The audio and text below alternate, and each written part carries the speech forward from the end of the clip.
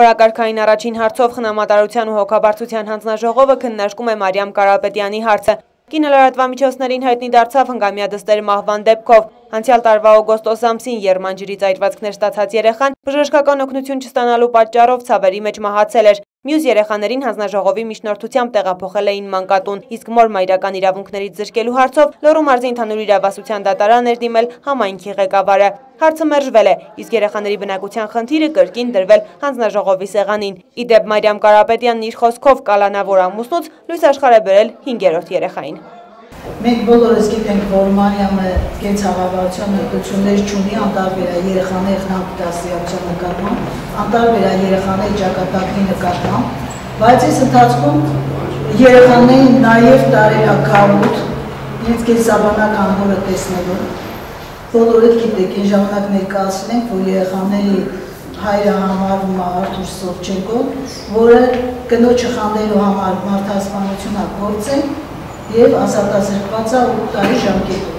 Այստեղ նաեւ երեխաների իրավունքներն ավորտնահարվել են առումով, որ մանկահասակ երեխաները դեռ համոզված չեն, որ դա իրենց հարազատ հայրն է, հայտնվում են բերքի դռներին, այս քանի անգամ։ Մայրը մինչև մի քանի ամիս են նախնական ամիսներին երեխաների մոտ մանկատուն այց չի գնացել, որտեղ անտարբեր էր երեխաների նկատմամբ։ Բայց 6-րդ թե 5-րդ երեխան, քանի որ պիտի ունենա եւ պետությունից բավականին մեծ գումար պիտի ստանա, նա ապօրինի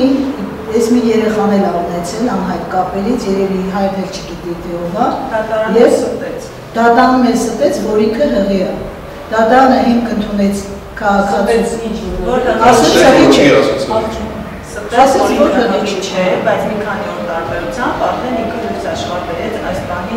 հաստատի 4-րդ երեխային։ Ծնողավարման հմտությունների անհետ բացակայությունը Մարիամը ցույց տվեց նիստի դահլիճում եւս։ Այնուամենայնիվ ընտանիքի խնդրով տարբեր կառույցներ զբաղվում են համալիր կերպով։ Իսկ կենցաղային պայմանների բարելավման համար մոտորերս նրանց կհատկացվի հանրակացարան։ Հաջորդիվ քննարկվեց Գրիգորյանների ընտանիքի հարցը։ Միջնորդության դեպքում աշխատանք կատարվի ընտանիքի երիտասարդ տղային ալկոհոլիզմից ազատելու գործով։ Հանձնաժողովը հնարավորությունների սահմաններում խոստացավ նաև օգնել երեխաների ակնոցների եւ վառելափայտի աջակցության հարցում, հետագայում եւս ուշադրության տակ պահելով ընտանիքի կարիքները։ Օրակարգում տեսախցիկներից այն կողմ քննարկվեցին նաև երեխաների հոգաբարձության սահմանման, դրա ժամկետի երկարացման, երեխայի խնամքը եւ դաստիարակությունը ծնողին հանձնելու, զույգերի ամուսնալուծության եւ երեխայի կամ երեխաների բնակության վայրը որոշելու մասին հարցեր։ Մտահոգիչ էր նաև արդեն լուծված համարվող, բայց կրկին գլուխ բարձրացրած մուրացկանության ու մարմնավաճառության նպատակով այլ քաղաքներից Վանաձոր եկող անձանց խնդիրը։ Մուրացիկների թվում չափահասներից բացի նաև մանկահասակ երեխաներին, իսկ կրկին աղբի գարաժներում հավաքվող մարմնավաճառներն իրենց ձև գործին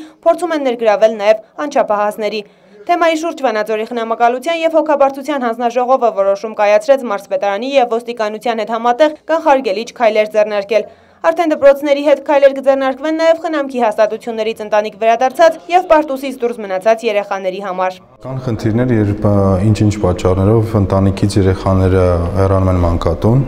մենք փորձում ենք ամենաառաջինը պաշտպանել երեխաների իրավունքը։ Մեր խնդիրը կանում է որպեսի կանում է նրանով, որպեսի երեխաները դառնան հասարակության լիիրավ անդամ ինչ խոսք այդ խնդիրը դեռևս կա օրինակ մեծ մոտ կան ընտանիքներ որոնք որ միշտ տասնամյակներ շարունակ այդ ընտանիքները ունեցել են խնդիրներ եւ հիմա փորձում ենք քիչացնել այդ ամեն ինչը բերել նվազագույնի եւ անել ամենը որպեսզի այդ ընտանիքներում մեծացող երեխաները չտեսնեն ու չսովորեն այն սխալները որոնք որ իրենց ծնողներ են կատարել ժամանակին։ Ամփոփելով հանձնաժողովի աշխատանքները հանձնաժողովի նախագահը դրական տեղաշարժ է նկատում, պետական եւ հասարակական դաշտի համագործակցությունն իր պտուղներն արդեն բերել է բավականին մեծ գործ է անում այդ ընտանիքների հետ, հոգեբաններ են աշխատում, սոցիալական աշխատողներ են աշխատում, որոնք որ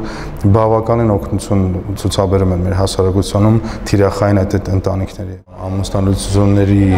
դիմումները